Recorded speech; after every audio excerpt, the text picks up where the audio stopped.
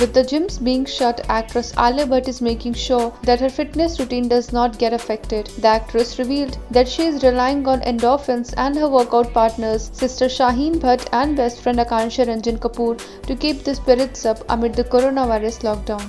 The actress took to social media to share a photograph after her workout session. She captioned the post, relying on those endorphins and my virtual workout partners to keep the spirits up. On the film front, Alia will be next seen in Ayan Mukerji's Brahmastra, a superhero film that is the first of his three film series co-starring Amitabh Bachchan and Ranbir Kapoor. IANS report.